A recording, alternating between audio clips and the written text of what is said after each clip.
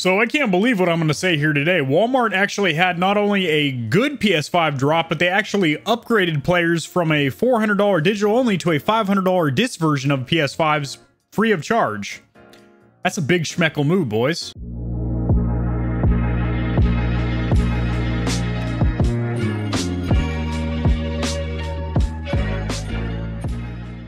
So it feels like so many times I've covered news around Walmart drops it has been inherently negative. I mean, they've been pretty bad. In fact, Walmart is probably one of the worst places for getting a PS5 if you look at the overall success rate of people actually locking in consoles. Generally, they have really poor bot protection.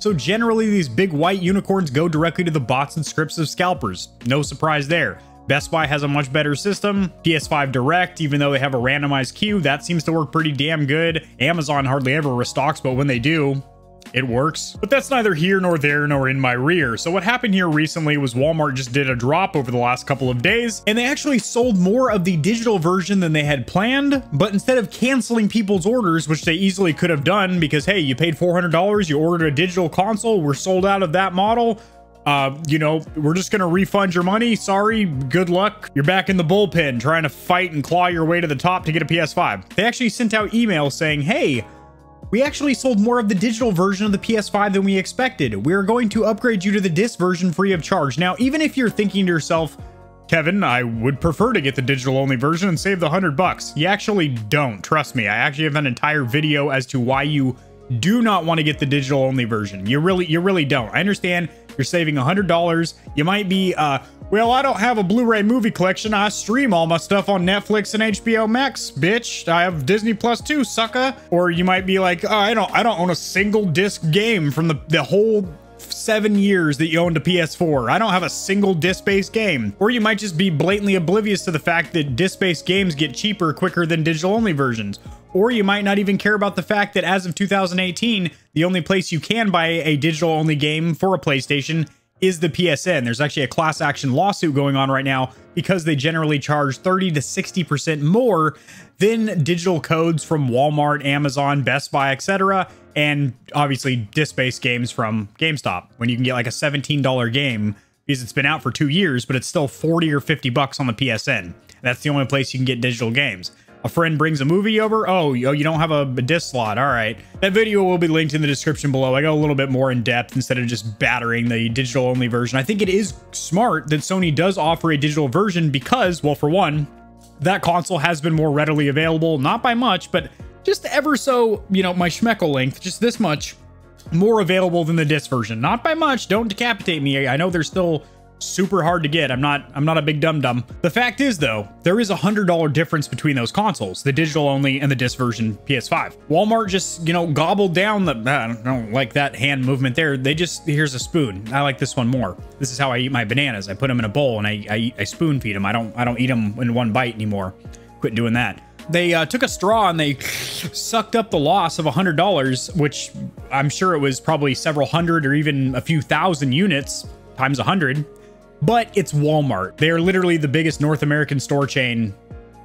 I almost said in the world, but then I just said in North America, so that wouldn't make any damn sense. And I don't think it's global because there's things like BenQ and stuff like that over there in the UK. But anyway, here uh, in the in, in, the states, here in America, Walmart, as you boys know, it's big, thick, girthy boy, and they can afford, you know, 70, 80, couple hundred thousand dollars in losses. Not a big deal. And the main reason they did this isn't really the goodness of their heart. It's because, like I mentioned, every time they have a drop, YouTubers make a video, Twitch streamers go live, Instagram influencers go out there. People like Wario64 and Jake Randall, who cover drops of PlayStations and Xbox Series, tweet out, well, Walmart had another janky ass, punk ass drop. It's bad PR. It, it makes them look bad in the public image that they literally have some of the worst bot protection and just one of the worst checkout processes. We all know the infamous oh dear page with that damn dog dressed up like a damn reindeer. It made me hate dogs and reindeers in the same day, and I love animals. But the facts are Walmart did a solid for the gaming community. Again, it's not out of the goodness of their heart, just like when GameStop is doing these bundles, which by the way is getting more consoles into the hands of actual consumers, actual gamers, because scalpers with their bots and scripts target primarily just the console because they have less of a profit margin, they get less of an ROI or return on their investment by going after bundles. But the bundles from GameStop are actually pretty good because it's not Ooh, go ahead and mute the phone. Good lord. Because the accessories they do bundle them with are usually a AAA, AAA title game like Miles Morales or Ratchet and Clank or Returnal, and then an extra DualSense controller, which you're probably going to need anyway. You're going to want a second controller, especially because battery life isn't great on them. You're going to want to be able to hot swap them. And then also like a Pulse 3D headset, which I strongly recommend every PS5 owner gets because they work in conjunction with the Tempest audio engine on board the new PS5. So it actually sounds really good. Now, if you're just playing PS4 titles on it, it sounds like a regular $100 stereo headset. But then you play a PS5 game like Miles Morales, you can hear every BJ on the subway. You can hear every needle prick into an arm in a back alley in that game. Um, it's it's it's very nice, very accurate. 7.1 surround. You feel like you're in the nitty gritty, squeeze a titty of New York. But yeah, those bundles really do, even though they're you know eight, nine hundred bucks they are worth it because they're actually a little bit cheaper than it would be to buy the accessories individually, accessories and games that you're probably going to want to buy any anyway eventually. But also, scalpers don't target them as much. Sometimes they do, they generally do not. But it's not out of the goodness of their heart, as there is a bigger profit margin for these vendors, such as Walmart, Best Buy, Amazon, that take the Sony product to be selling accessories like the Pulse 3D headset and the DualSense controller. So they're making more money with the bundle, but it's also easier for us to get a console, so I guess everybody wins. Hey, buy a bundle. It's expensive as shit, but you might actually get one. So again, Walmart, I mean, just a quick round of applause.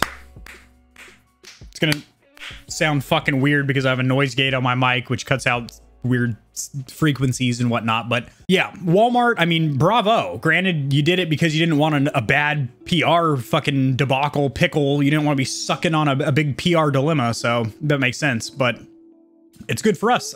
Well, by us, I mean the people, the hundreds or thousands of gamers that got a free $100 upgrade to a disc version PS5, which, trust me, you're going to really appreciate that later when you're like, wow, these digital games on the PSN are like, oh my god, this is 20 bucks at GameStop. They want 45 bucks on the PSN. Oh boy. Trust me, there wouldn't be a class action lawsuit in place if it wasn't blatantly ripping people off.